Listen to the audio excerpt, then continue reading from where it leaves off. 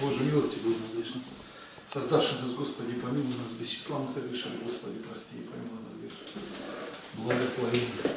Царю небесный, утешитель души истины, и же везде сы, и вся исполняй сокровище благих и жизни подателю, приди вселися вны, и очистены от всякие скверны, и спаси блажи души наша. Отец наш Небесный, Господь и Бог, и Его Творец. Молим Тебя именем Господа, Бога нашего, Иисуса Христа, Сына Твоего Единородного. Благослови нас склониться перед Словом Твоим Святым. Даруй, Господи, чтобы оно помогло спастись нашим душам и душам еще многих людей. Благослови, Господи, тех братьев, которые не с нами. Даруй, Господи, нам всем встретить этот прощенный день. Искренно быть друг с другом в дружбе, в любви друг от друга, что Ты заповедал, Господь. Только тогда все увидят, что мы ученики Твои. Помоги, Господи, нам всем быть единодушными, единомысленными по Слову Твоему Святому. И чтобы можно было нам всем единодушно выйти и прославить имя Твое Святое в этом грешном и уже погибшем мире. Спаси, Господи, еще тех, кого можно спасти. Слава Тебе за все, Отец и Святой Дух. Аминь. Можно еще поблагодарить Господа, что мир там, это, не, не, людей не убивают уже да, в Донецке. Да, Благодарим Тебя, Господи, за то, что слышишь и мольбы. Помоги, Господи, чтобы люди там это осознали и покаялись. Слава Тебе, Отец, Сын, Дух Святой. Аминь. А я же часто это говорил, вот помню, о том, что не хотят они еще, не, до кондиции не дошли люди. То проклинают там этого Порошенко, то еще что-то. Каяться надо, надо каяться. Да, а тут показывают вот буквально перед тем, как перемирие наступило, вот это они там подписали его в Минске-то, показывают мальчонка такой лет 14. И он ходит по, там и показывает по Донецку с корреспондентом. Вот, говорит, школа, говорит, здесь вот, говорит, убила, говорит, двоих там, а, там сколько-то ранила, говорит, моя школа, сейчас, говорит, закрыта, все, ну, разбомбленная. Здесь двор, говорит, вот тут гуляли, это вот наша квартира, приходит прямо на разбомбленная квартира, все. Живут в подвале с матерью, где-то там. Ну и все, ведет, ведет, а потом ну все, мне, говорит, некогда, надо идти, говорит, уже, то меня мама ждет. А куда, говорит, идти? А вот, говорит, тут не очень далеко, говорит, церковь, говорит, мы, говорит, с мамой, говорит, каждый день, говорит, молимся там, стоим, говорит, весь вечер. Просим у Господа э, Иисуса Христа, чтобы, говорит, это мир, говорит, на нашу землю пришел. Я думаю, вот, слава тебе, Господи, наконец-то услышал. Наверное, мы с ним вместе молились. Я слова, я плакала и молилась, и он, наверное, молился. Слова, это, слова, наконец-то духоносные, и показывают, а пойдем, говорит, с тобой, и идут, и там церковь такая немножко, там купол там, разбитый, крыша, и заходят, и там уже мать стоит, говорит, вот, говорит, мы, говорит, перед этой иконой, говорит, молимся. Помоги им, Господи, Стоят вдвоем с, с мальчонкой. Есть какая-то, ну, в общем, община, они тоже молятся в два часа ночи. Они, видимо, вот по телефону, по сотовому-то или смс или что-то посылают, и все встают на молитву. Большое количество людей, каждую Божью ночь. Там у них, да? Ночи. Ну, я не знаю. А, где-то просто Да, где-то просто есть э, группа людей. Ну да, Господь к Господу больше никак нельзя обратиться, как только в мольбе. Может быть, нам установить наше общение, Господи, я сегодня уже плакала тоже. Может, в наше общение установить, чтобы нам какое-то время бы вставать всем на молитву? Ну, у нас молятся, только, может быть, В одно время бы, вот в одно ну, время просить Господа Бога. Ну да, это, это обращение стопроцентное, как говорится, духовное. И вот этой молитвы... Или вот раньше, или вечером попозже как-то время бы такое установить бы и молились бы, вставали. Так, я не понял, ты же подготовился? Я? Ты Сергею передаешь? Нет, читайте. Ему так интересно. Подготовился? Что-то я так не понял, подготовился ты или нет. Так, Сергей, где мы остановились? 25-26. Да нет, я почитаю. С 25 стиха. С 25 стиха. читаем Матфея, 5 глава, 25-26 стихи. «Мирись с соперником твоим скорее, пока ты еще на пути с ним, чтобы соперник не отдал тебя судье, а судья не отдал бы тебя слуге, и не вергли бы тебя в темницу. Истинно говорю тебе, ты не выйдешь оттуда, пока не отдашь и до последнего кадранта». Толкователь, блаженный Феофилакт. Некоторые думают, что соперником здесь называется дьявол, а путем жизни. И что Господь внушает следующее. Рассчитайся с дьяволом, пока ты находишься всей жизни, дабы впоследствии он не стал обличать тебя за грехи, как бы присвоившего какую-нибудь его собственность. Тогда предан будешь наказанию – пока не изгладишь и последних, самых малых грехов, ибо кадрант равняется двум лептам. Но ты разумеешь, что Господь говорит это о здешних соперниках, научая не судиться и не переставать делать дела Божии. Вот, научая не судиться и не переставать делать дела Божии. Если тебя и обидят, говорит, не входи в суд, но помирись на пути, дабы при представлении соперникам сильного оправдания не потерпеть тебе чего-либо худшего. А ну, смотрю, взгляд такой осознанный у тебя, брат. Порадуй нас. Ну, я могу дополнить. Ну-ка, дополни-ка, брат.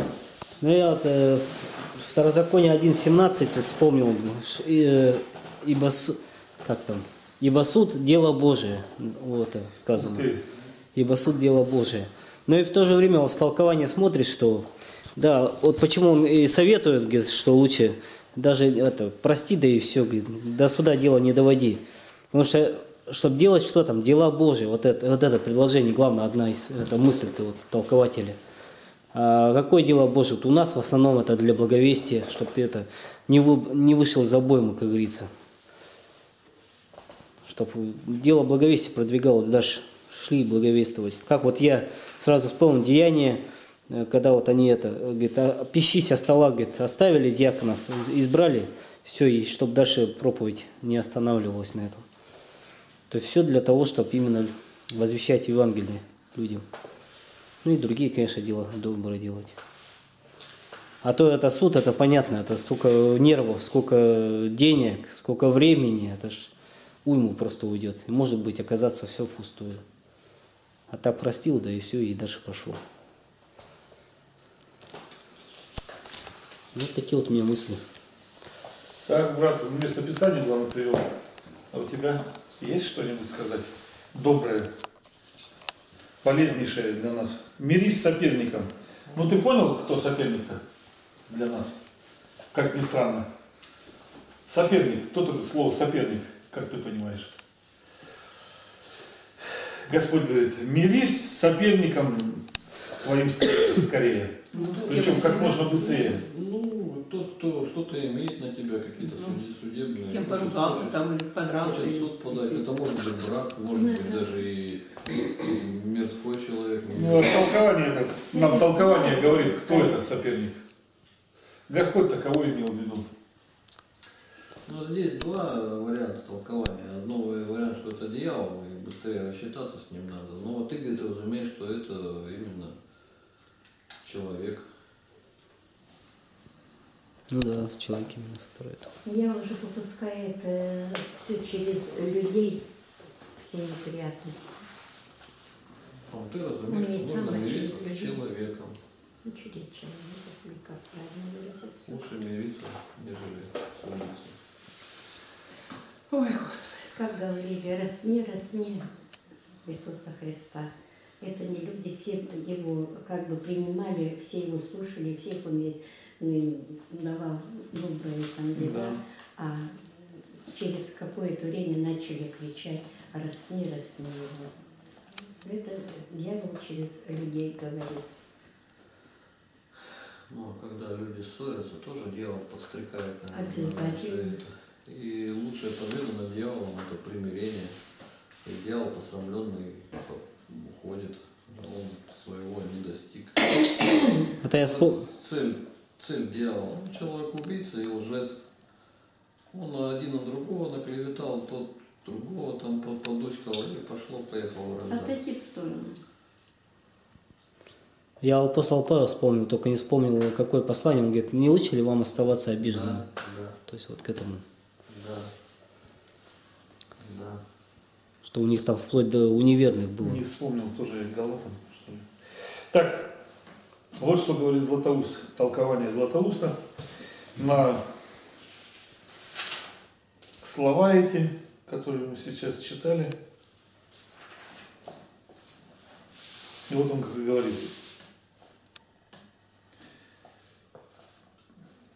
В последней своей проповеди Господь потребовал большего, повелев подставлять и правую щеку. Так и теперь, после выск- высказанного уже повеления мириться соперником, опять простирает свое требование еще дальше, предписывая не только отдать сопернику то, что он хочет взять, но и оказать большую щедрость. Что же? Неужели скажешь мне ходить нагим, то есть все вообще отдать? Не были ли бы мы наги, если бы в точности исполнили эти повеления? Напротив еще, были бы гораздо лучше всех и одеты. Во-первых, потому что никто не нападает на человека, имеющего такое расположение духа. Понятно? Никто не нападает. Если ты готов отдать последнее, на тебя никто не нападет. Господь тебя не будет этим искушать. Ему что, нужно смотреть, как ты голым тут ша- шаришься по городу? Нет, не это надо. Надо что, расположение к Господу. Это во-первых. И во-вторых, если бы и нашелся кто настолько жестокий и немилосердный, что дерзнул бы и на это, то без сомнения еще более бы нашлось таких, которые человека, вошедшего на такую степень любомудрия, покрыли бы не только одеждами, но если бы было возможно, и с самой плотью своей. Что брать, вот наша безбожная страна практически. И то, сколько уже гуманитарных грузов отправили в Донецк. А там люди все-таки одежду имеют. Ну там с едой, с питьем плохо. И сразу пошли гуманитарные конвои, идут по несколько десятков машин. Потом 150, 180 машин сразу. И такие длинномеры там, не знаю по сколько там тонн. Ну по много тонн. Тонн, наверное, по 15 -то точно. И все люди собирают. И там и люди собирают, и государство отправляют, отправляют, отправляют. То есть это мы видим, что это о Христе речь не идет. А когда Христос презрит на, свою, на свое чадо, которое так обидели, и которое пострадало за него, то, конечно, ну, насколько будет иметь больше. Это Иова надо вспомнить, опять же. нам. Иов был осыпан всем. Десять детей было, всех убил сатана по сказанному Господ, Господом проверить его. И Господь потом обратно 10 дал. И еще эти оказались вот в раю, вдобавок ко всему. А почему, Златоуст говорит, а почему только 10, говорит, он даровал? Он же сказал, что все вдвойне даст. А всего 10 детей, значит 20 должен дать теперь, ну вдвойне раз. Нет, говорит. Потому что эти 10 тоже спасены. Вот так как Господь все делает, премудро. И вот когда а, э, Витя беседовал, беседует, там стоит такой обширный этот прапорщик-то его, и говорит, ну вот я ни о чем тебя не спрашиваю, нет, нет, только одно. За что вот эту маленькую девочку и вот пополам, вот за что это? папа?» Он такой прям, видно, что очень сильно прям. А Виктор говорит, так а с позиции, говорит, если вечности то посмотреть, то она-то на небе, вы, говорит, за нее тут Да, Говорится, переживаете, а ей хорошо, она в раю может находиться. Понимаете это? Он что-то такой раз, и ответ не удовлетворил его совсем. Хотя ну, он почувствовал, что Ну да. какой-то ответ был дан. Закрутился сразу. Но это ему не интересно, ему другое вот интересно, конечно, было. А тут раз все, ответ готов. То есть девочка, оказывается, он думал, что она ничто, а ее так возвысили, дорогая. Он, наверное, ангелов представил себе сразу, закрутился. А если бы кому довелось и ногим ходить ради такого любомудрия, то и в этом не было бы стыда. Адам и в раю был наг и не стыдился. И Исаия ходил нагим и беззубый, был знаменитее всех иудеев. Вот как Господь выходит. Кажется, какой же будет ответ? А ответ все в Слове Божьем. Если этот идет по Слову Божьему, и ты остаешься нагим ради Господа, то жди, Господь вознаградит тебя, даже здесь вознаградит. А чем? Даст тебе одежду. То ты голый был, а тут опять одетый. Это же уже вознаграждение. Но если об одежде говорить, то, ну, я думаю, тут, наверное, не только об одежде говорится, а обо всем. У нас был такой случай, очень, очень похожий, когда священник, это Владимир Суртаев, попал в тюрьму.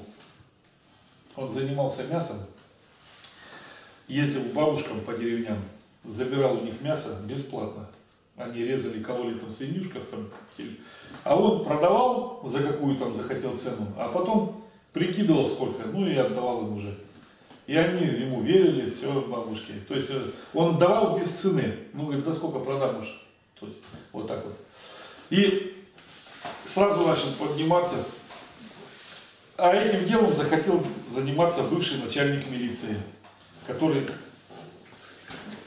уже все приготовил, у него там и машина для этого, и люди, и все. Если вдруг приезжает, там, давайте, закупаю, хорошую цену предлагает, а мяса нет.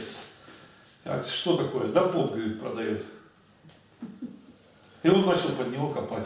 А оказалось, что у него дом, ему люди сбросились, прихожане, что-то так его полюбили сильно, сбросились и купили ему дом. А он отписал его на матушку. Купили машину, попу дом, все. Ну и он там правит бал. Я там был у него. А где это? Это Титманова. Он проповедь такую говорит. Ну, вот вы собрались, ну там бабушка ходила прилично, на человек 20. Это хорошо, что собрались, но вижу, совсем свечей-то не покупаете. Мы как с вами договаривались? По 5 свечей в будничные дни и по 10 воскресные. И чтоб не меньше, давайте это уж точно исполнять. А то где я буду деньги в епархию возить, брать-то? Вы уж давайте тут покупайте свечи-то. И так громогласно говорит, у него такой бас еще. Я потом вышел, говорю, отец, надо же проповедь, говорит, что-то о свечах. Он, ну а как же, надо подбавить, все время откроют, тут у меня разбалуются они. Такой. Ну и вот, случил, случается следующее. И этот милиционер начинает подкапывать под него и так далее. И это, к людям там пошел. А там были женщины, которые сами отпевали. Знаете это, да? Ну, то есть, без попа. Они приходят, им деньги дают люди, и они отпевают просто, и все, людей. Ну, хорошо будет для клирии. И он узнал об этом. И, короче, их... А они были первые у него прихожанки, которые заправляли в храме, на клиросе пели везде. И он начал их притеснять.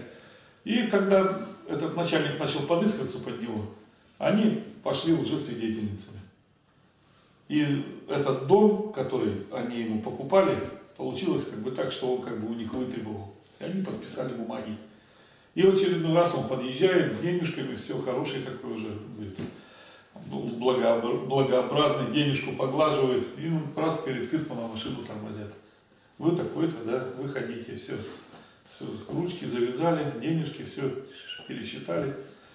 И вы перевели, значит, дом на матушку, машину на матушку, короче. А он хитрый тоже, поп, все на матушку перевел, думает, в случае чего я-то гол как сокол. Мол, без серебряник. Но Господь все видит. Серебряник оказался. И его в тюрьму. Да в тюрьму тайно, то есть он доехать-то доехал до Крипмана, его тут же развернули, прям посадили за этот ПК вот этот и увезли. И прям в тюрьму сюда, на канатную. И здесь он встречается с Игнатием Тихоновичем. Игнатий, мы ходим по камерам, раздаем литературу, он в одном крыле, я в другом. И он там встречается с этим с, э, священником. И они его так. А у нас тут, говорит, тоже есть, говорит, поп один, святой отец там. Какой? А сейчас, Вовка, иди сюда! И вот он подваливает, постриженный, конечно, усики все стрижены, у него было все стрижено тогда. Сейчас его не стрижут.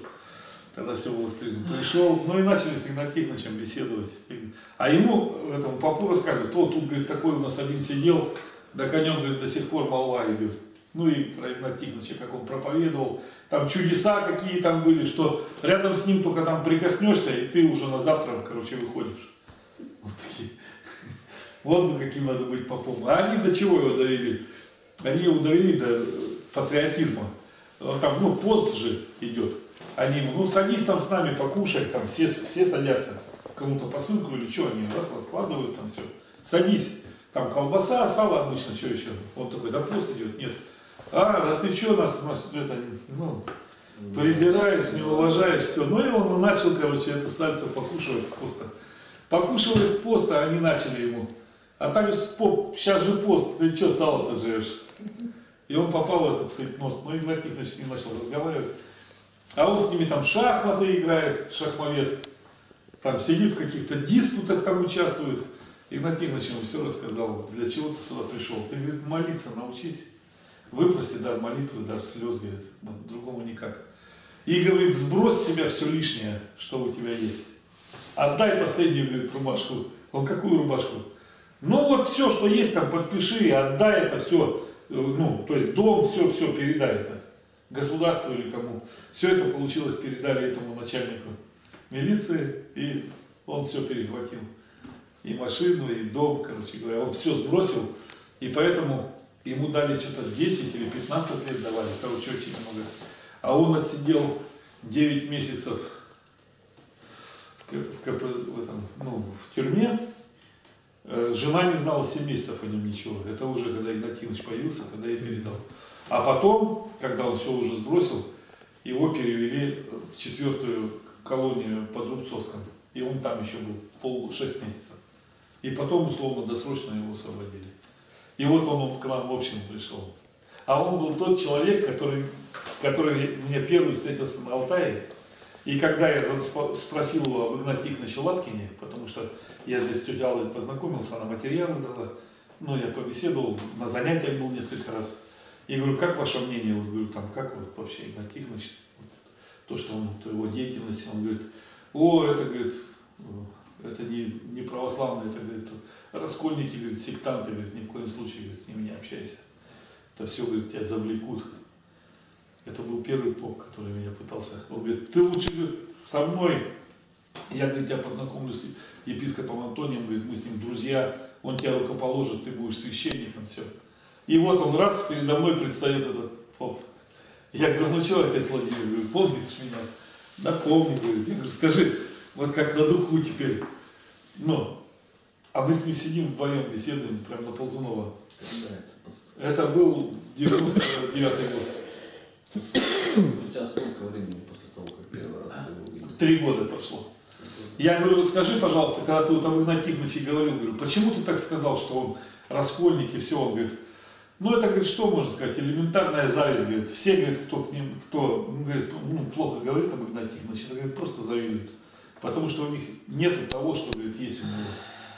Вот это, говорит, дар слова, говорит, что люди вокруг него, люди его слушают, занятия, говорит, вот эти все. Мы, говорит, же обо всем знаем. Там внутри. То есть они все-все знают, священники. Они смотрят, наблюдают за нами. Ну, за ним. Ну, естественно, как получается, за общиной. И он, я говорю, ну а когда ты разговаривал, он, он побыл у нас, а потом говорю, ну как это, как ты себя чувствуешь? Он говорит, я, говорит, э, когда был священником, недостоин даже у вас быть был оглашенным бы. Вот, как себя поставил. Мы думали, он у нас священником будет, но он не остался.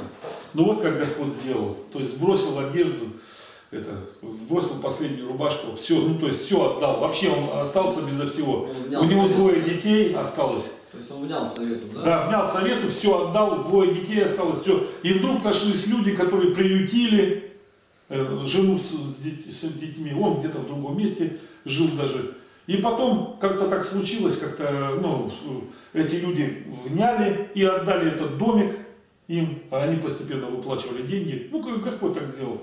И потом они развились, он там перестал быть священником, стал э, свою фирму сделал, он кует. Розочки всякие делает, там всякие вот прям букеты из цветов покрашенные. Вот так раз, там 20 килограмм, все из железа, кстати. таланты какие у человека. Вот вот детские площадки, которые по городу, это вот все его фирма делает. Он здесь Господь часто мимо него проезжаешь по? Калинина, там у него эта фирма, я там был у него. Он потом ушел от нас, уже больше у нас не, не молился. Хотя долго молился, года четыре, наверное. Ну, такой пример. Ты это, Не вспомнили его? В очках такой. Всегда сидел рядом с э, Виктором Андреевичем сзади. Всегда сидел. Редко он выступал, но бывало, что-то скажет. А после него пришел Нафанаил. После него сразу, только Суртаев ушел, даже они еще виделись. Так, как помню, а вот представить его не могу. Ну, высокий, выше, где-то чуть выше меня даже еще такой худощавый. Был такой крепыш, начал уже пузо идти у него все, а потом попал в тюрьму и стал худеньким, все как надо. я вспомнил еще там на занятиях, когда пожилой такой седовласый, он записки все время подавал, и записка всегда начиналась так, из телевизора. А, вспомнил, дедушка, Он Александр Иванович. Александр Иванович, да, да, да. Все время. Очень интеллигентный человек, работал, работал где-то он ну, на производстве, работал, бригадиром где-то. И так на него посмотришь, как бомж какой-то. А он в частном доме жил вместе с бабушкой, они там дав- дав- давно. И говорит, мне говорит, интересно все эти вопросы. Вот ходил долго на занятия, он не знаю сколько лет. Наверное, лет. Он говорит, как Да, с до 90-го конца года, так ходил. он и ходил до конца Он до конца ходил. лет 20. Так, вот еще можно было Златоуста что-то читать, мы можем дальше пойти. Давай дальше. Давайте. Ну, понятно, да, тут мысль ясна. И 27-28 стихи. Вы слышали, что сказано древним? Не прелюбодействуй. А я говорю вам, что всякий, кто смотрит на женщину с вожделением, уже прелюбодействовал с ней в сердце своем. Исход 20 глава 13 стих. Толкование блаженного Феофилакта. Иное дело прелюбодейство, иное блуд. Прелюбодеяние есть грех с замужнее, а блуд со свободной. Кто останавливается, всматривается и зрением воспламеняет похоть, потом снова смотрит с большим желанием удовлетворения похоти, тот уже совершил грех сердце своем. Правда, он не исполнил его делом, что до того. Он не мог, а если бы мог, то тот час сделал бы грех самим делом. Впрочем, знай, что если мы когда-либо восчувствовали похоть, но встретили препятствие к удовлетворению делом, то это явный знак, что нас сохранила благодать.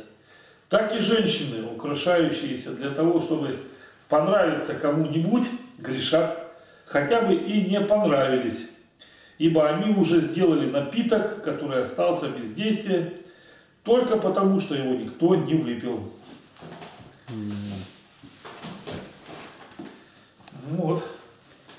Примеров о похоти никто не будет приводить. да? Ну царя Давида я сразу вспомнил.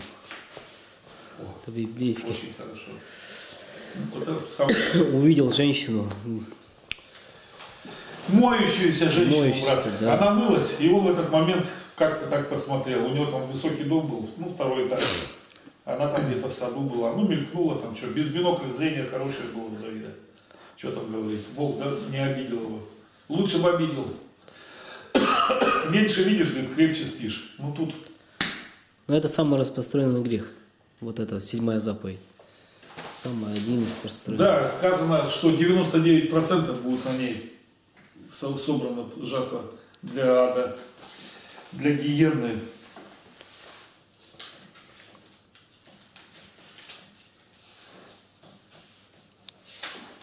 Так, ну и что, Сергей? Все ты? Ну, ты как хоть то пободрее сиди. Ну что тут? Непонятно. Что дальше даже, да? А я могу знать, что у меня мысль? О, не мысль, а вообще. Что тут? А я не знаю, что тут у меня. Я не знаю. Сопение. Здесь Ну ладно, давай дальше. пострадал.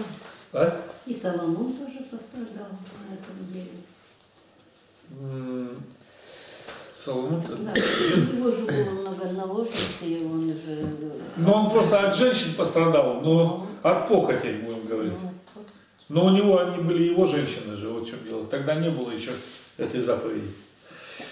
Как бы Соломону повезло, будем говорить. Они у Давида были наложницы и, жен, и жены. жен- жены. У Давида было 12, у Все Соломона, были. как там, 300 жен и 700 наложниц? У Соломона. Или 700 жен, 300 наложниц? Кто точно вспомнит? 300 жен и 700 наложниц. Да. А точно? А не 700 жен, 700, 300 наложниц. Потому что у князя Владимира было больше даже. У него было 800 наложниц и 300 жен. Или 200, Ну, я 200 вот, жен. я вот читала. У самое. Владимира. Ну, вот. По-моему, 700 наложниц и 300 жен. Нет, 700 жен. Ну, ну, вот. А? Да жен, зачем столько? Да, ну я ничего не могу сказать. Конечно, 700 жен. Было. Нет, нет, жен. У кого? У Соломона. Да 300 то есть. Нет. Да ладно, согласился? Не будем. Нет, ну можно посмотреть просто. Возьми интернет, у тебя же есть. И все узнают об этом. Кто прав, кто виноват. 29-30 стих. Если же правый глаз твой соблазняет тебя, вырви его и брось от себя, ибо лучше для тебя, чтобы погиб один из членов твоих, а не все тело твое было ввержено в гиену. Если правая твоя рука соблазняет тебя, отсеки ее и брось от себя, ибо лучше для тебя, чтобы погиб один из членов твоих, а не все тело твое было вержено в гиену. Толкование. Слыша о глазе и руке, не подумай, что здесь говорится именно об этих членах. В этом случае он не прибавил бы правый глаз и правая рука, сказал. Здесь говорится о людях, которых любим и бережем, как правый глаз и правую руку, но которые препятствуют нам делать дела Божии. Так, например, юноша, если имеет распутных друзей и терпит от них душевный вред, должен оставить, бросить их. Этим, может быть, спасешь и их, если придут в чувство. А если не спасешь их, то, по крайней мере, спасешь себя. Но если будешь продолжать к ним любовь, то погибнешь и ты, и они, то есть все тело. Ну тут, наверное, уже примеров-то больше, да? М, Могу привести. Давай, Я когда э, это, первый раз познакомился со свидетелями Иеговы, это сектанты, вот, э, через них я первый раз э, узнал, что такое есть Святая Библия. Они мне дали в руки именно синодальный перевод, 66 книг. Вот. И вот у них как раз э, вот я к ним ходил, мне нравилось, перестал э, пить, блудить. Э, Старые друзья у меня стали отошли от меня. А потом постепенно, постепенно, постепенно я опять скатился к старым друзьям. Я уже их забросил, стал опять в миру пить и там блудить и так далее. То есть вот пример. Я обратно вернулся к ним. Что вот самое страшное. Ну и, конечно, Да. и в Ну, заблуждении ты находился. Тогда знал эти места Писания, ты чувствовал сам в себе, что ты именно не можешь отсечь, как Писание Ну, говорит. конечно, Слово Божие живо и действенно живо. А ты что, знал, что правая рука это А? друзья, что ли? Нет, и вот это я не знал, но я понимал, что они-то влекут меня не явно, что не к, не ко спасению. Потому что живут Нет, ну когда кто у сектантов-то было, что сектанты, сектанты прям вот так толкуют, что правая рука это Нет, близкие эти ну люди, это я не толкуют даже, откуда у них столько тянуто. Это мы знаем уже. Потому что. Я не могу ничего сказать. Сектантов-то? И вход в гриву. Так я что виноват, что они отвергли все, все святоотеческое? Пускай сами теперь думают, у них башка большая, их же миллиарды. Пускай миллиардят, что-нибудь на миллиардят может быть. А то они бы давай бы все руки до ноги рубить-то. Так нет, они, они проще говорят, они говорят, да я спасен уже, все. Ничего И все, не надо. ничего не надо рубить, я спасен. И все нормально. И все хорошо у них. У них ни гонений, ничего нету в церкви. Все, все одинаково думают. В смысле, ни о чем не думают. Все большое. Все обольщенные, да, так что им что. Там главное у них, чтобы исцеления происходили, чтобы православных за- заткнуть за пояс с их мощами. И готово дело. Ну, у них получается живая икона, сам этот руководитель, который ходят и ходят и полбу так чпок, прям показывают. И там такой, бэм, такой, и а, зашатался. Он еще чпок, чпок, чпок. Мужик такой здоровый стоит, не падает, все. Уже его эти ученики, его там два или кто, дернули, так этот здоровый, а, завалился, еле-еле. Я думаю, господи помилуй, хоть бы договаривались сначала. А я А то весь позор это терпят. А там людей куча, и все ждут, когда он начпокает этот лоб. И главное, прям, там кто-то вот это, знаете, как делают, в микрофон-то все, ну, музыку или что делают вот так. И он прям, да, что-то так. А я видел Прям смотришь на них, и я за них стыжусь. разоблачительно. У меня, у меня лицо краснеет, щеки краснеют, когда я вижу на десятки тысяч человек такой ерундой заниматься, и люди а, прям трибуны ревут. Они их собирают как на хоккей или как на футбол, Ну, на да. эти зрелища. Кашпировский на этом же тоже пришел. Ну Я да. прям показывают ролик, когда вот этот вот сектант так вот п- падает, и женщина падает, сначала так мягко так на колено, потом на, на ягодицу, потом локоть подставляет. То есть видно, что она себя бережет. И прям замеренно съемки, и православные так все это обсмаковывают, что это все заранее они договорились, что тебя ударят, а ты так упадешь, и остальные все, а, а вы вот так вот еще тоже так, а, сделайте, чтобы другие тоже и начали десятину платить. Да, да, да. Но это тоже не так давно. Это сначала были такие действительно Артисты, исцелители. да, и прям они ездили. А потом началось все как Да, актерство. артистов, Да. Ну, у нас это тоже не в таком плане, ну, приблизительно то же самое. У нас много собирают с икон, с мощей, прям деньга, деньга идет, хорошо сыпется. И уже там и э, дары, которые принесли волхвы, они уже оказались почему-то у церковников. Принесли Христу, все у церковников оказалось. И ладан, и смирно, короче. А как же принесли Христу? Ну, Христос использовал, наверное, это в конечном итоге-то. Или что они ему принесли? Просто повесь на стенку у себя Господь, пускай висит. У Господа не было своего жилья. Ясно, что все это было использовано по назначению. И золото, и ладан, и смирно для своих дел. Ну, в общем, переборщили. И говорит, скоро, говорит, начну, говорит, продавать а, а мочу осла, говорит, и- и- на котором въехал Христос, говорит, в Иерусалим. Благо, говорит, ослов и не перевелось еще на вселенной. Так что, Который был покупать аминь. Давайте почитаем еще, да?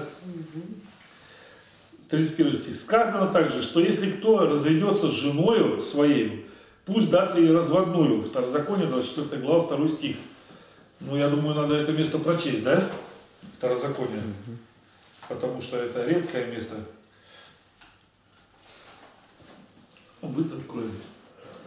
Итак, если кто возьмет жену и сделается ее мужем, и она не найдет благоволения в глазах его, потому что он находит в ней что-нибудь противное, и напишет ей разводное письмо, и даст ей в руки, и отпустит ее из дома своего. И она выйдет из дома его, пойдет и войдет за, выйдет за другого мужа. Но и сей последний муж возненавидит ее и напишет ей разводное письмо, и даст ей в руки, и отпустит ее из дома своего. Или умрет сей последний муж ее, взявший ее себе в жену. Но не может первый ее муж, пу- пустивший ее, опять взять ее себе в жену после того, как она осквернена. Ибо сия есть мерзость пред Господом Богом твоим. И не порочь землю, земли, которую Господь Бог твой дает тебе удел. Вот такие Ну, это- предписания Господни. Зачем ему вот этот документ вручался? Для чего? Разводное письмо. Это написано прямым текстом. Понял? Вот там же написано, возненавидел ее. Все, не захотел с ней жить, отдал разводное, все, и она пошла в свой дом. Все, а прямым текстом Господь пишет просто и все. А Господь уже, когда пришел, добавляет, это по жестокосердию вашему, чтобы не убил он ее, потому что она ему не нравится. Он ее стукнул где-нибудь в лесу, бросил там, закопал, Нет. потом сказал, куда-то пошли, где-то пропало. Они же бабы, вы сами знаете, ходят где-то там, шатаются, как эта Ева по, по раю. Ну и все, ну и другую взял себе. А на сердце-то чего у него лежит? Он убийца уже. То есть, чтобы этого не было, он говорит, по жестокосердию. Он сказал уже Моисею это. И что дальше ты будешь еще?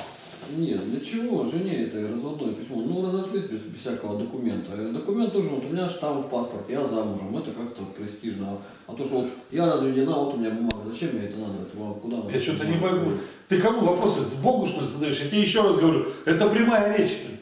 Господь сказал, и Моисей тебе ответ сказал, по жестокосердию вашему это сделано. Что дальше-то еще? Ты что ты добиваешься? паспортов никаких не было. и- Зачем ты добиваешься? Что, умный какой-то вопрос ты решил задать? Или что это такое у тебя? Я не могу понять. Что ты над этой бумажкой затрешься? У тебя что ли она есть такая? дальше. Есть. Разводная. Есть. Ну, я знаю, что есть. Я поэтому тебя и вывожу. Это, Ты что ты хочешь там? И Есть она. Ты Ну, свободнее, ну, только, свободная. ну, только в православной церкви ее быть не может. Ну, ты я про это. Потому что слушай дальше, что Ну, говорит Господь. когда ей же не- нельзя замуж выходить, а, или можно было в Ветхом Завете, это сейчас нельзя. Ну я же тебе прочитал, только что ты Да, что не да. слушал. Слушай, слушай. Можно, но если она была уже замужем, то за другу, за первого мужа Кому она не может уже все. Уже сказал. Да, все, уже сверх нельзя. Тут кое-что есть, видишь, законы, которые все-таки перекрывали. Не так, что, о, теперь пошла по рукам. Нет, ушки. Уже к первому нельзя, иначе развратилась земля. А теперь толкование, послушаем мы это. Это я только еще пока прочел 31 стих. Моисей повелел, чтобы возненавидевший жену свою развелся с нею, дабы не случилось чего-нибудь худшего. Потому что возненавиденная могла быть и убита, но такой обязан дать разведенной разводную, которая у них называлась отпускною, так чтобы отпущенная уже не возвращалась к нему и не произошло смуты, когда он стал жить уже с другою. У него, наверное, копия оставалась. Ну, зацепился. Документы. Ну, вот это бумаги, интересно, для чего? Как вот у мусульман, два раза сказал, не жена она мне, все, никаких бумаг, Да ну, у них есть бумаги. У них тоже написано, дай бог. У них ведь тоже общины там ведется своя, там, там все у них. Это он сказал, а потом к муле должен еще пойти и сказать. Да, понравилась жена, он должен к муле, а он так благословит в брак, он с ней ночь, а потом через ночь опять разводится, он зато законная. Не, ну у них там другое есть, у мусульман, у них вообще по-другому. Если она развелась и не была замужем, муж ее, допустим, теперь, приходи теперь ко мне опять, не можно. Теперь ей надо выйти за кого-то замуж, А, да. Потом тот должен от нее отречься, и этот может ее взять. То есть все с точностью да наоборот, чем в Библии. Да. не. Пока не осквернится, уже теперь не берем. То есть этот Аллах, так называемый их, это Бог мусульман, чистый Бог, он наоборот все делает, мы видим. И это везде. Берешь, когда в Коране, Господь наш говорит, не убей, вот сейчас мы будем читать, не убей. А там наоборот говорится, места Писания приведем еще прямо из Корана. Меч по шее, там, врага и так далее. И приводится это больше 30 раз в Коране приводится, что меч на шее его, на шее его там. Увидел там, если за камнем спрятался, достань его этим мечом обязательно. То есть везде выковыри нечестивого. Ну, сейчас мы видим, исламское государство это все те, кто исполняет Коран до конца. И более мягкие мусульмане, такие как Кадыров, ну, ну, видим, Чеч- Чечня там, Абха- Абхазия и другие страны. В России татары, допустим, они э, более лояльны к этому делу уже. Они даже толкования придумали такие, чтобы ну, можно было как-то жить э, с немусульманами. Хотя на самом деле Коран это не предусматривает. Только или ислам, или смерть. Все. Я когда вот только к вере приходил, тоже вот эту тему рассуждал об убийстве с одним братом верующим.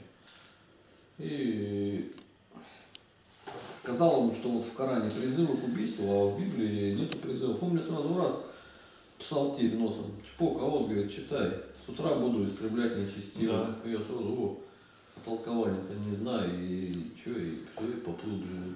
Все, репу зачесал. Репу, именно репу, да. Надо не репу чесать. Заткнул он меня, я не знаю, что сказать-то.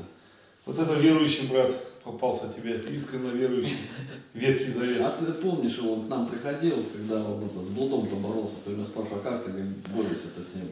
На руках, он говорит, я в среду пятницу уже не, не изменяю, я говорит, почти. Такой вот у меня бесом был. Ветхий Завет показал. Ветхий это ветхий, а новый, говорю вам. Ну и так, вот видите, по жестокосердию, все сказано. 32 стих. А я говорю вам, кто разводится с женой своей, кроме вины прелюбодеяния, тот подает, подает ей повод прелюбодействовать. И кто женится на разведенной, тот прелюбодействует. Толкование. Господь не нарушает Моисеева закона, но исправляет его и запрещает мужу ненавидеть свою жену без вины. Если он оставит ее по уважительной причине, то есть за прелюбодеяние, не подлежит осуждению.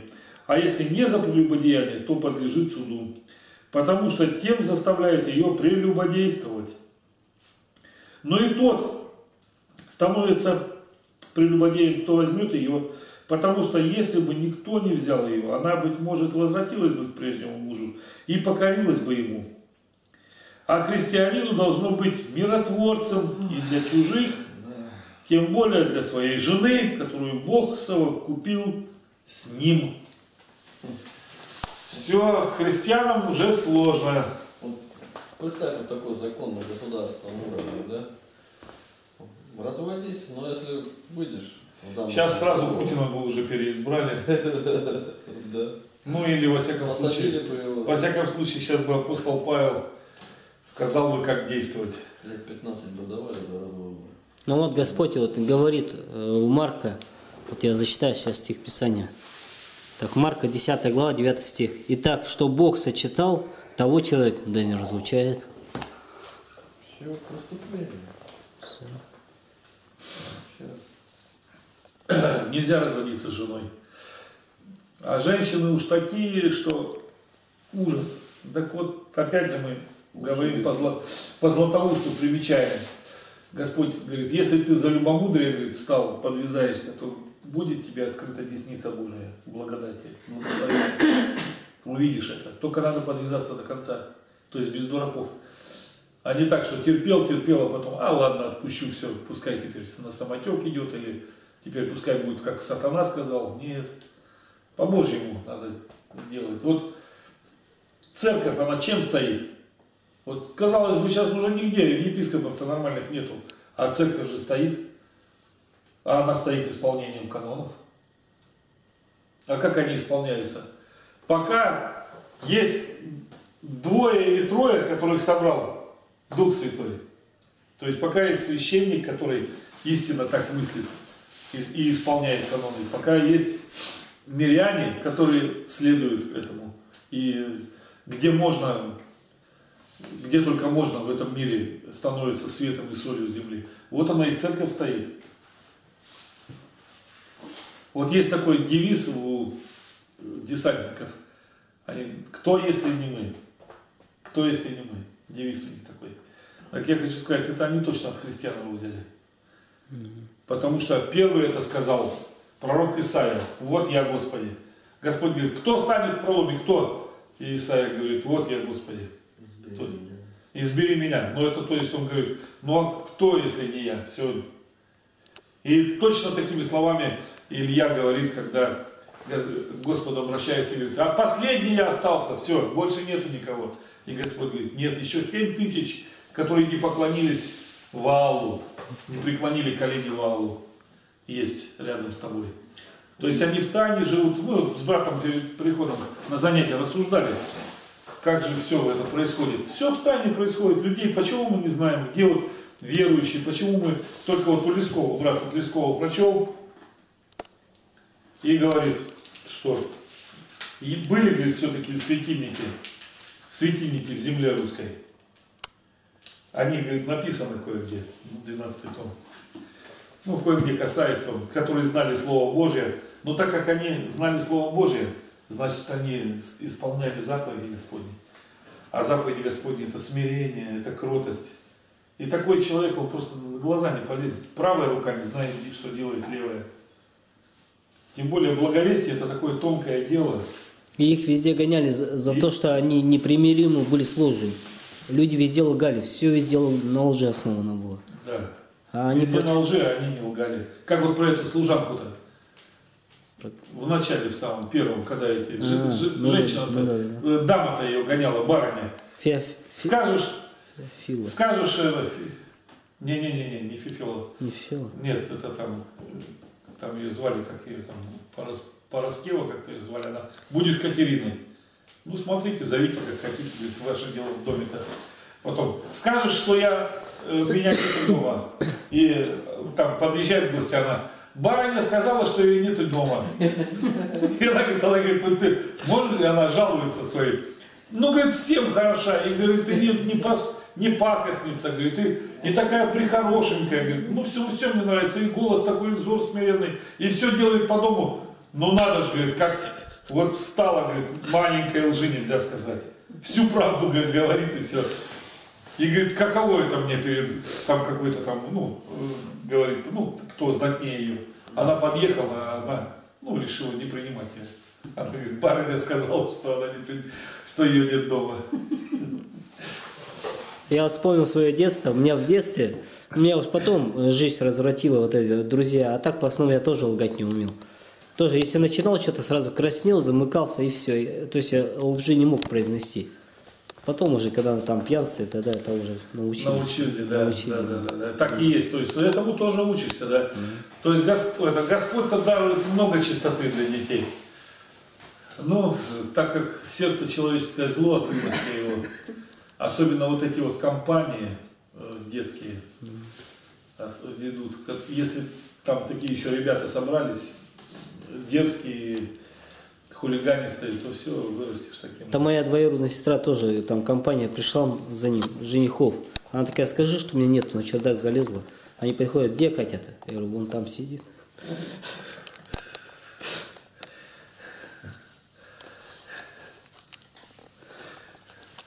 Предательная. Одним словом. Ну да. Так, еще, да.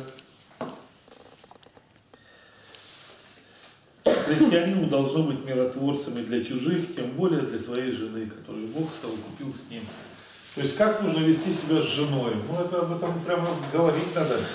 И много говорить. Места Писания показывают нам, как неправильно себя вести с женой. Помните это? Анания и Сапфира, которые богатые, которые продали имение свое и решили помочь верующим, нуждающимся. Пошли, а деньги взяли, а не все отдали, решили себе часть утаить, потому что решили слишком много денег. Но, может, А Господь, а Господь все узнал, передал апостолу Павлу и Духом Святым, они были наказаны и убиты, и тот, и другой. Вот для чего сог- согласились они, добывать деньги неправильным путем, причем отбирая это уже у Бога. Все-таки супруги, которые христиане, они должны жить только по Евангелию. Закон у них должен быть один. Святая Библия закон жизни по Новому Завету. Ну, мы вот так с женой договорились, как перед тем, как э, креститься и венчаться еще, ну, что будем жить и будем руководствоваться Новым Заветом. Ну, хочу сказать, что какое-то время продержались мы даже, но это было очень тяжело. А сейчас еще тяжелее, могу так сказать.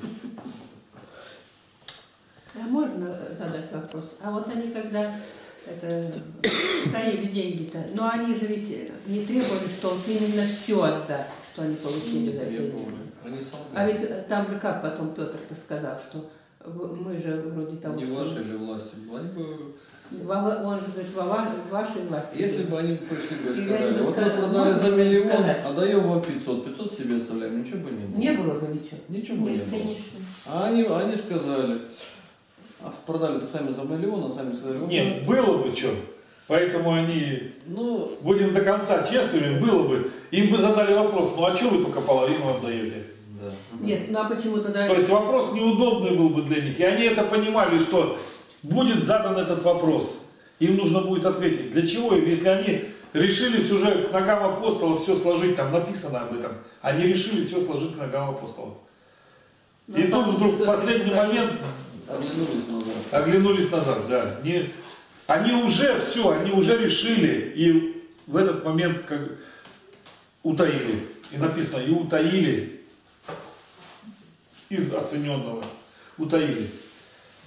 Все-таки утаили. То есть то, что ты дал залог для Господа. Да, они уже То есть, дали, да. отдавали все, Да. уже все, между собой договорились, что отдать, а потом вдруг раз и утаили. То есть в последний момент рука дернулась, один мешочек поставил, второй в кармане, Это- никто не знает.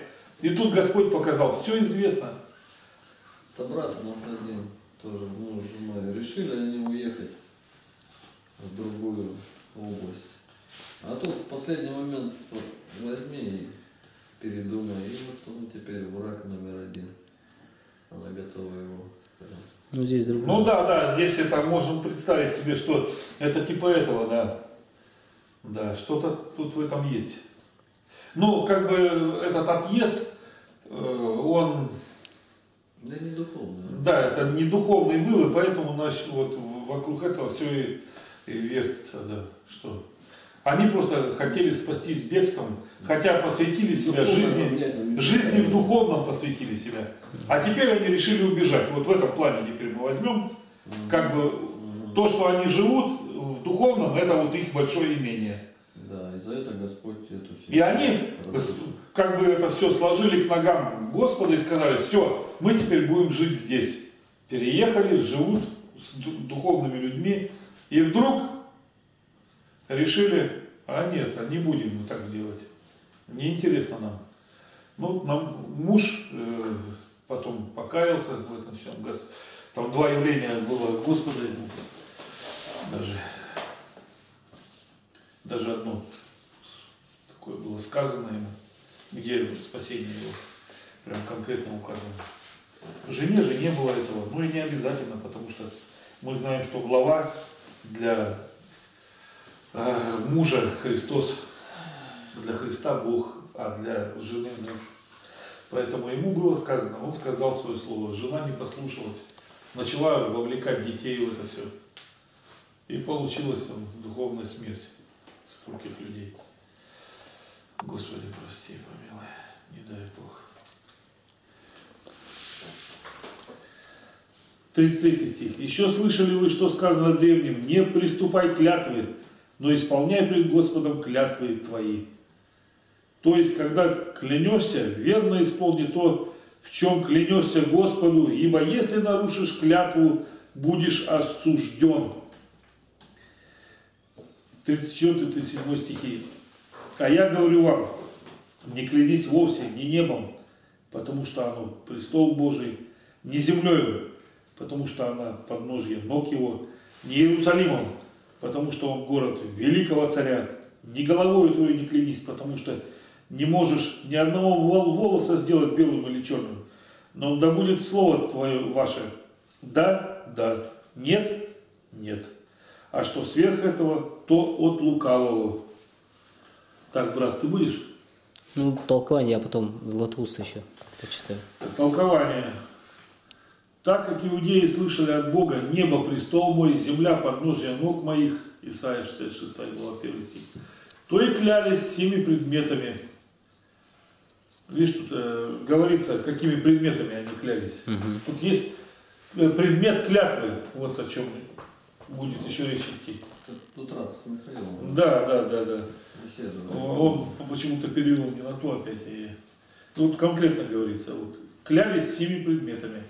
Но Господь воспрещает им это, впрочем, не потому, чтобы небо прекрасно и огромно, а земля полезна, а потому, чтобы не подать повода им к идолопоклонству, так как эти предметы у ими легко могли быть признаны за божество, как это прежде и было. Ну, вот сейчас у японцев такое. У них это э, называется это, о, господи, забыл, как называется, ну ладно. В общем, они, у них переходные идолы.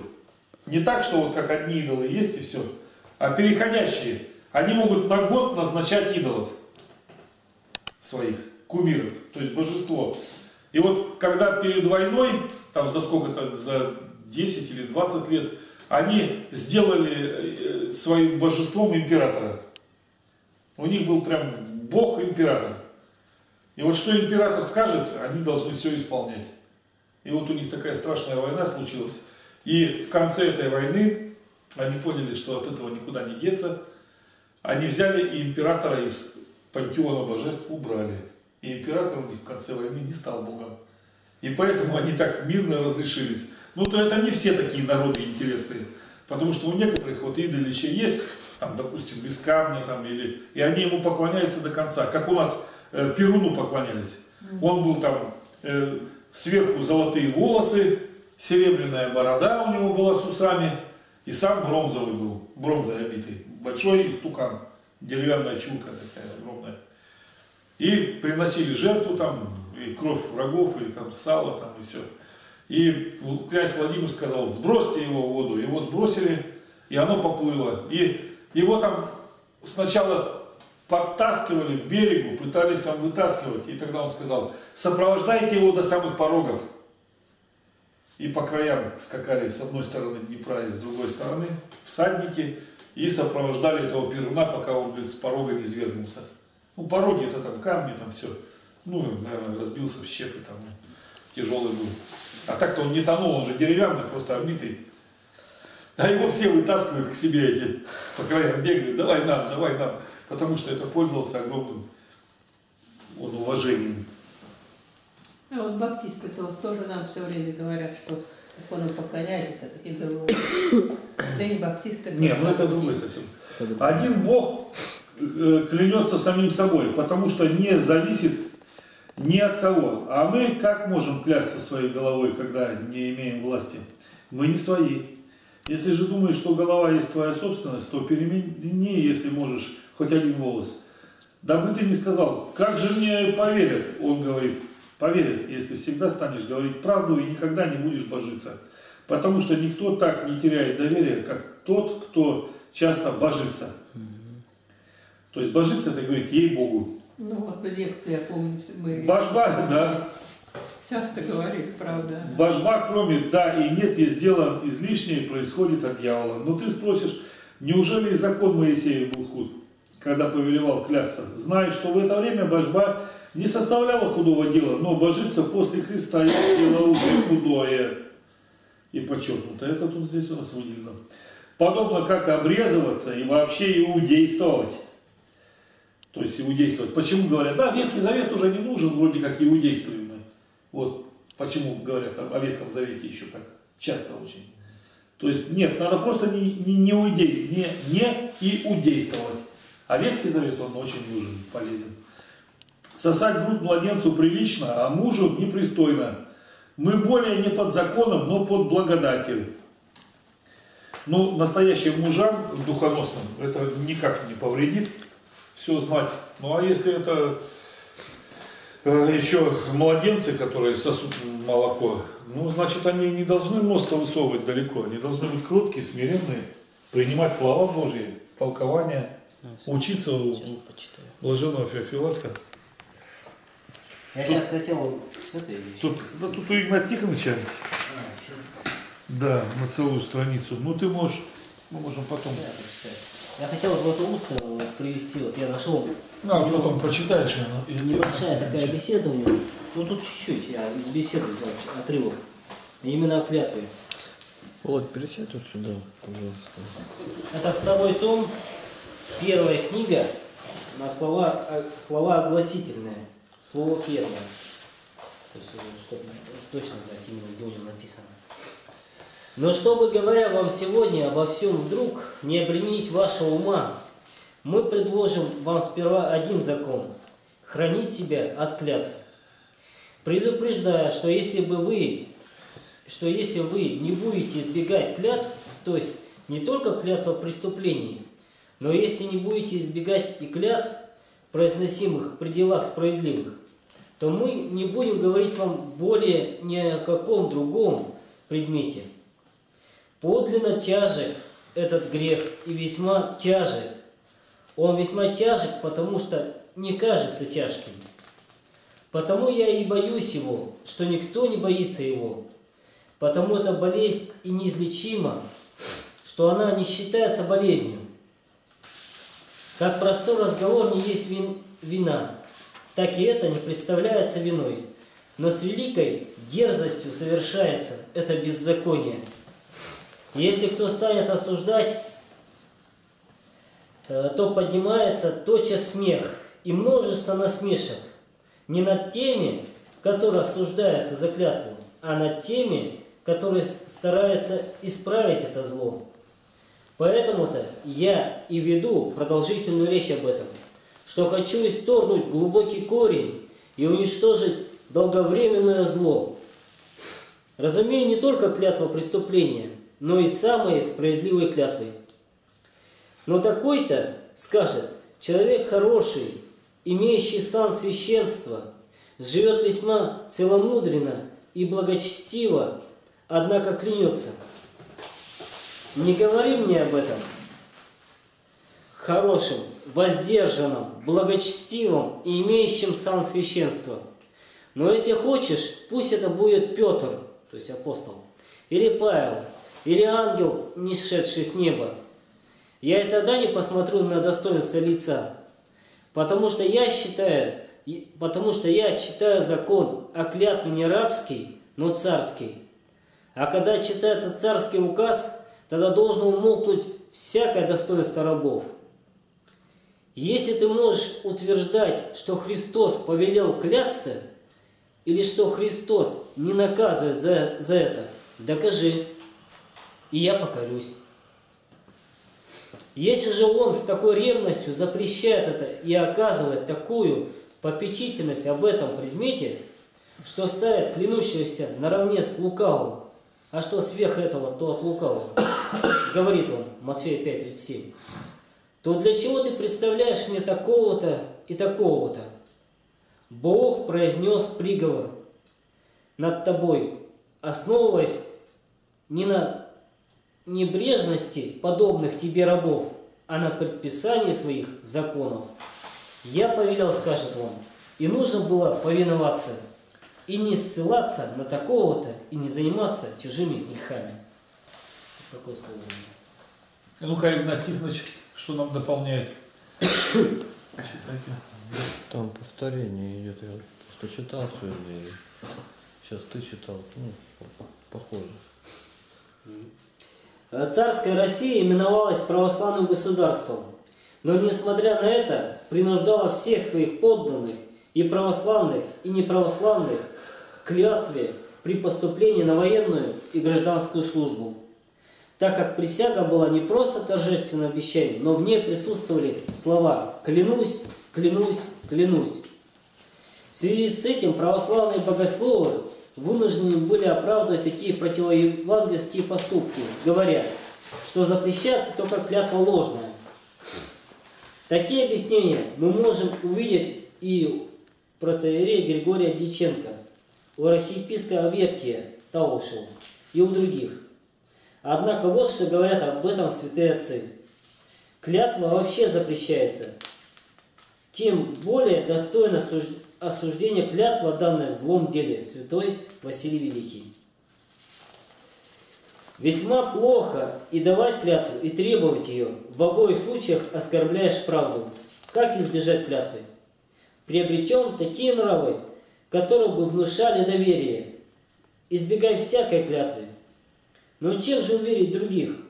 Словом и жизнью, удостоверяющей в слове. Сделай, чтобы посредником твоим были твои добрые нравы.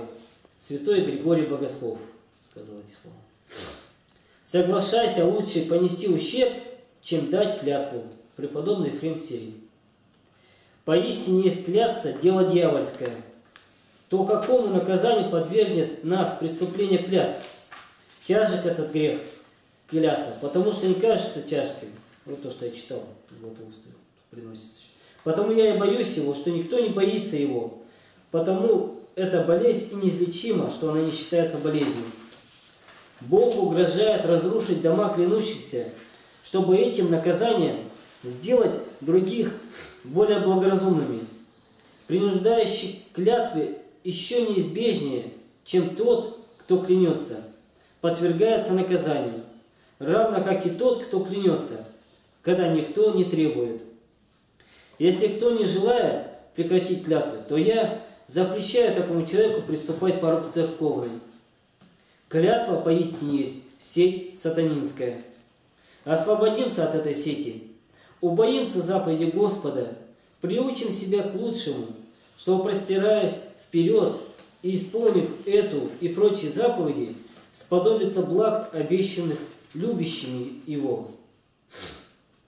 Клянущиеся не могут представить в свою пользу никакого оправдания, кроме пренебрежения к имени Божию. Умоляю вас, помните об усекновенной главе Иоанна. Она как бы, она как бы говорит, ненавидьте мою убийцу, клятву. Святитель Иоанн Златоуст. Дает ли кто верную клятву или нарушает свою клятву, подвергается наказанию. Поэтому избегай клясться и несправедливо, и справедливо. Преподобный Нил Синайский. Не клясться значит и не требовать клятвы. Ибо если не хочешь сам клясться, то и от других не потребуешь клятвы по следующим двум причинам. Вопрошающий или стоит в истине, или напротив того лжет.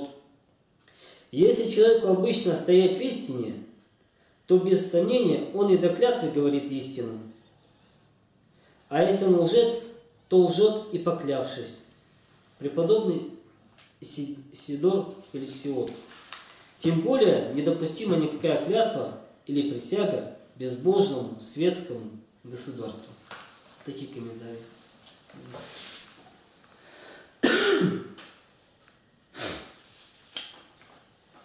Все на этом, да? Да нет, еще у нас есть. А, есть? Еще есть, да. Что мы все про это прочитали, у кого никаких замечаний нет Да хватит уже. по полной программе, да? Какие тут возражения могут быть? Так, итак, 38-39 стихи. Вы слышали, что сказано «Око за око и зуб за зуб». А я говорю вам, не протився злому, но кто ударит тебя в правую щеку твою, обрати к нему и другую.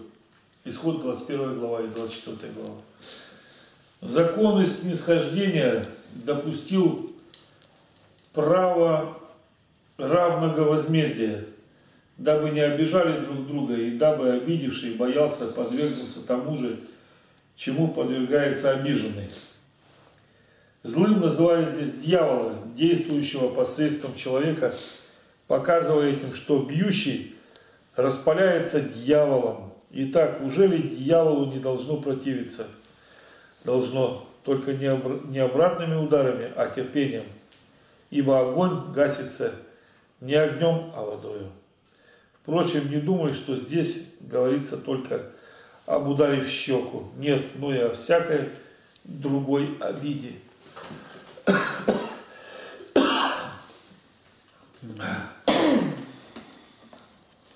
Это об этом как раз Лесков говорит часто. Это у Льва Толстого непротивление злу насилием. У него такой вы- вы- сделал вывод. Не протився злому. И, конечно, для людей это было просто отчаянное положение, те, кто себя считал верующими.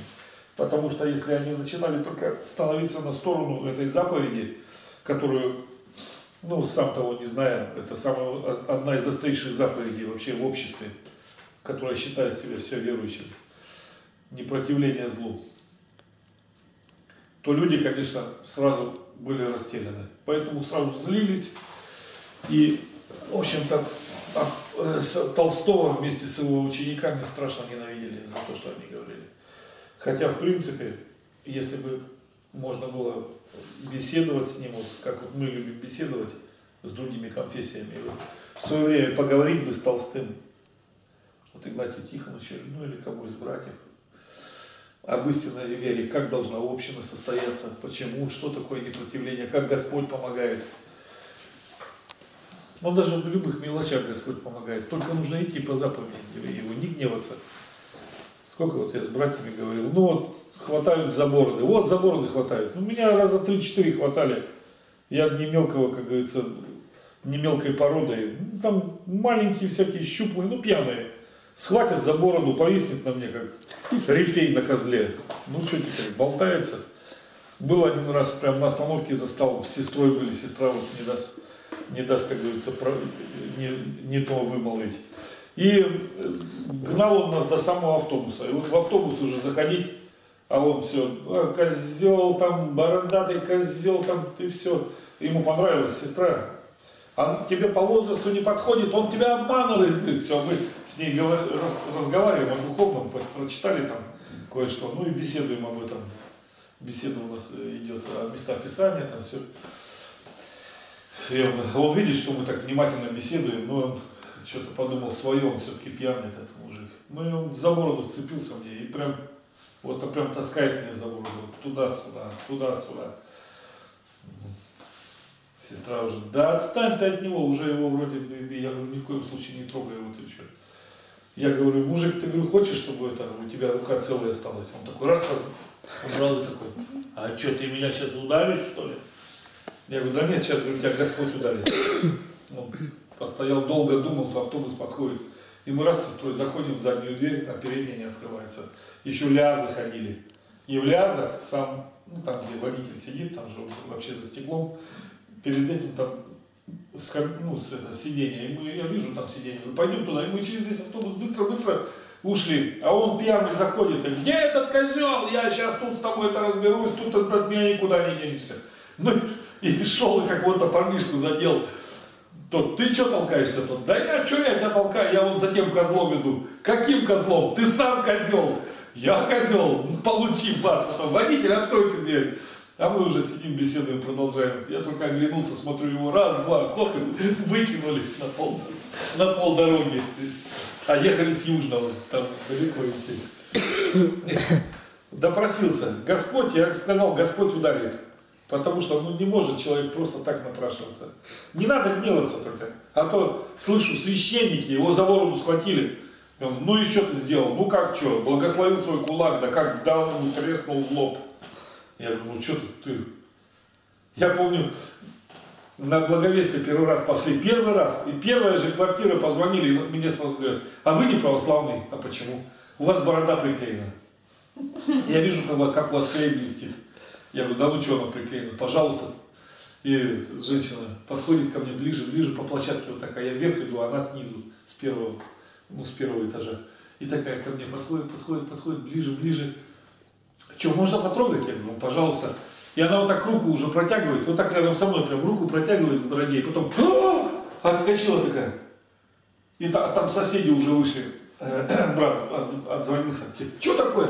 У него борода-то настоящая. Господь, Господь вразумляет, только нужно до конца идти. Не знаю, не бояться там, не надо какой-то страх на себя нагонять и так далее. Ну, за бороду много было. да. Никогда не кидался, а все удивляются. И что ты никогда не кидаешься, если тебя там за бороду, там, ну я что, за бороду перехвачу так руку, чтобы сильно это, не рвал-то. Ну и беседую. А чтобы драться там, кидаться за бороду, Ну вот, у- за свое какое-то счастье народное. Так вы что, мы же христиане. Вот э, был случай тоже у брата Андрея Смелягина, я тоже не раз его вспоминал уже. Он тоже в поезде ехал и где-то благовествовал. И подошел пьяный один мужчина. И тоже за, за бороду его хватает. Вот докопался. Он говорит, мужик, говорит, ты сядь, успокойся, говорит, сейчас, говорит, патруль, говорит, позову, говорит, и все, говорит, и... Он такой, да что, типа, мне этот патруль. И тут же патруль появляется. А он его увидел, побежал в тамбур, говорит, слышал, говорит, там дверь открывается, и он на полном ходу выскочил с поезда прямо. Вот как Господь действует. Даже патруля тебе не надо. Ну. Страх будет там, где, ты, где его нету. Такой и погонит. убийца. Неизвестно. Да, это Господь говорит, что нагоню на на страх врагов ваших. Двое говорит, будут гнать 10, а 10 говорит, прогонят сотню. А сотни полчища, ну и мы видим, Гедеон, пожалуйста, идет всего с тремя стами воинами против 100-тысячного мадиамского вой- воинства. И все, побеждают. окружают стан с факелами, меч Господа Гедеона восклицают, бьют мечом а в светильнике, гром стоит, крик, меч Господа Гедеона, и враги подумали, что все, сами ангелы сошли с небес видеть их. Победа. Это, ну, еще говорим, ветхозаветное все. А Господь нам показал сам, как и уже что только не было. И Петр ухо отрубил рабу первосвященникову Малку. И Господь исцелил ухо ему обратно приставил. И хотели там попалить уже, что его не приняли. Он говорит, не знаете, какого вы духа? Ведь Сын Человеческий пришел не судить, а спасать. Вот как. Но раз Сын Человеческий пришел спасать, то мы-то что можем решать с вами? Мы-то ничто. И, и говорит, поливающий и насаждающий есть ничто. А все Бог возвращающий. Возвращающий. Поэтому надо, если мы уже назвались христианами, надо до конца исполнять заповеди. Но там все-таки Толстой до конца не исполнил, хотя поднял этот вопрос он. До конца надо было исполнять все, что написано в заповедях. С этого бы начал, и там дальше бы дальше развилось, разбило, разбило, развилась бы в нем эта потребность исполнять все заповеди Господни. А то начал уже переиллюстрировать Библию, здесь нравится Новый Завет, этот не нравится. Ветхий Завет вообще откинул, зачем он нужен.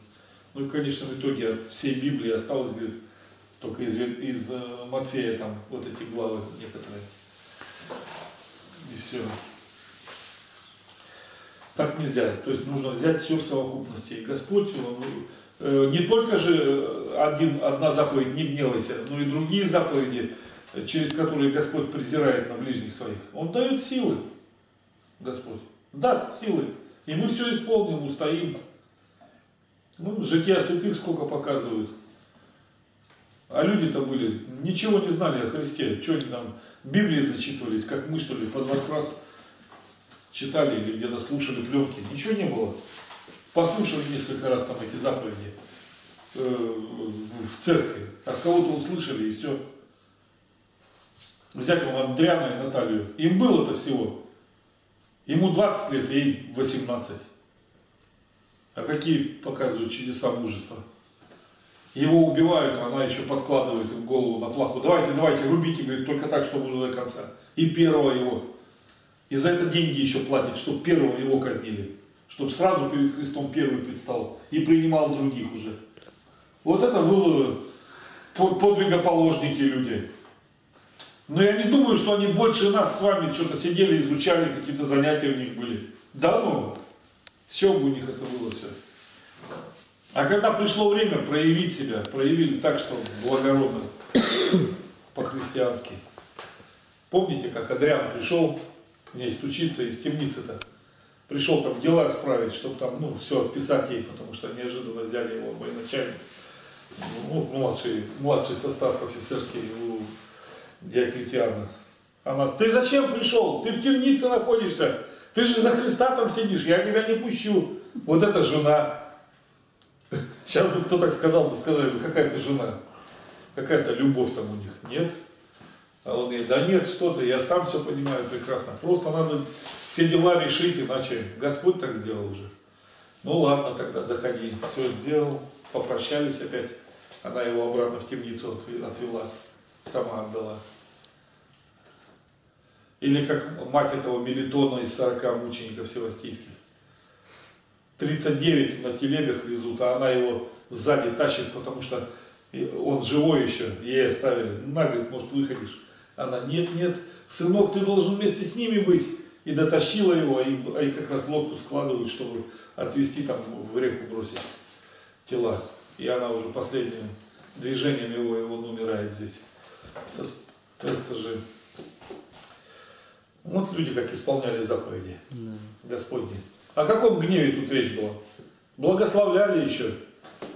Или взять эту мать этих семи сыновей маковейских, когда их убивали на его глазах и просили еще поговорить с ними. Ты поговори там, скажи, что так не надо себя вести, пускай жертву принесут, будут свободны. И ни гнева, ничего. Все время, если говорили какое-то напутственное слово царю, то говорили о том, что ждет его за его жестокость. Он же жестокий. Но вот как люди должны поступать, ну, однозначно мы знаем.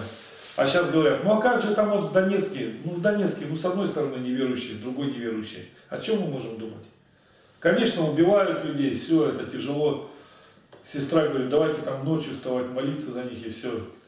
Но мы-то, положа руку на сердце, должны знать, что там люди неверующие. В основном те, которые никогда не исполняли заповедей. Ну чем они там на Украине лучше, чем в Полтаве, покоил лучше там, чем здесь у нас в Красноярске или в Иркутске? Да ничем. Такие же грешники попали в такую непредвиденную ситуацию. Господь и нас тоже в свое время проверит, так что что можем сделать? Мы можем только благовествовать, это вот самое главное.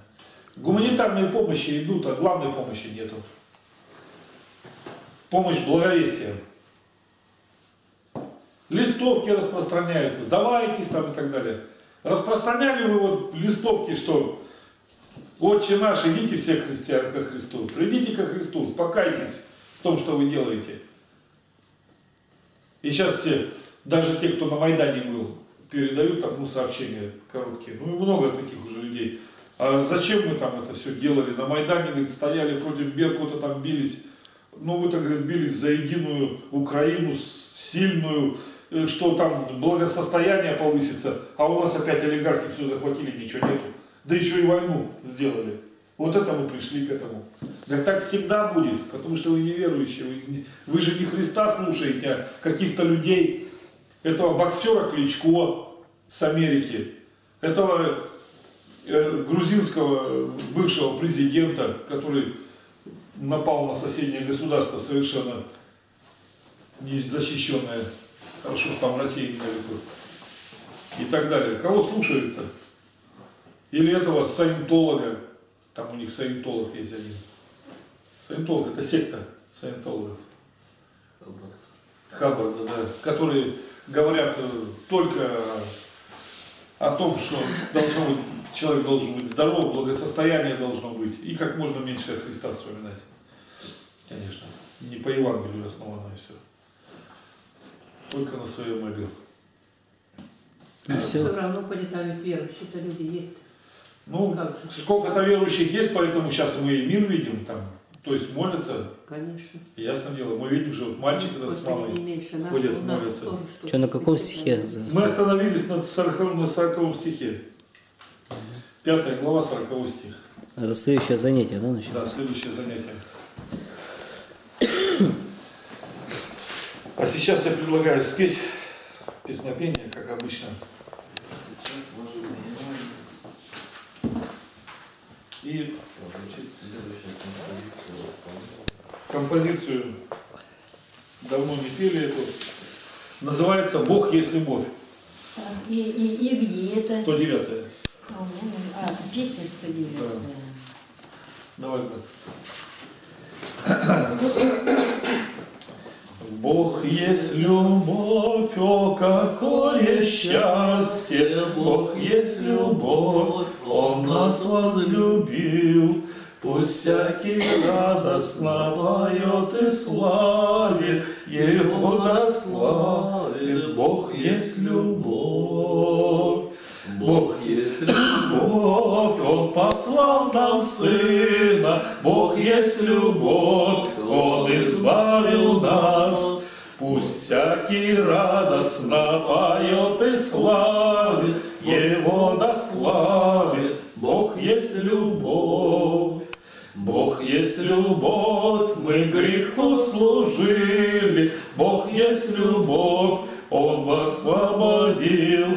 Пусть всякий радостно поет и славит, Его да славит, Бог есть любовь. Мой искупитель меня избавил, мой искупитель меня простил. Тебя я буду вечно петь и славить, я буду славить